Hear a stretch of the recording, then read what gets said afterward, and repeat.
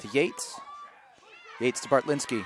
Bartlinski straight at the goal and scores in the top left corner. She throws down the stick.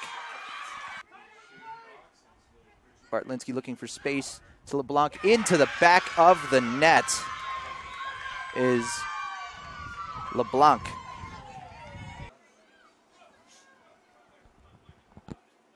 Sonati still with the ball. Going around the goal. Passes it in front. Behind the net. Looking for a shot. Flips it to Duel, who shoots and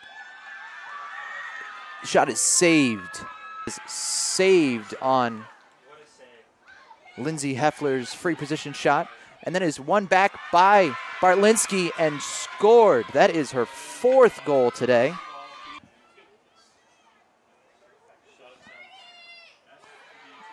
Front of the net is the ball now. Who runs into the offensive zone. Sonati shoots. Actually, that was Bartlinski who had received the assist from Sonati. Everybody gets set. Ref blows the whistle straight at the goal and into the back of the net.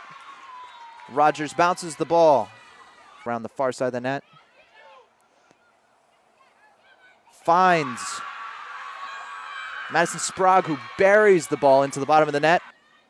No, straight at the goal, but too many white jerseys around there. And it was a shot by Reese to Bartlinski. Went over Bartlinski's head. She scooped it up. Bartlinski takes a shot and scored. Now with Miller. Miller finds a teammate.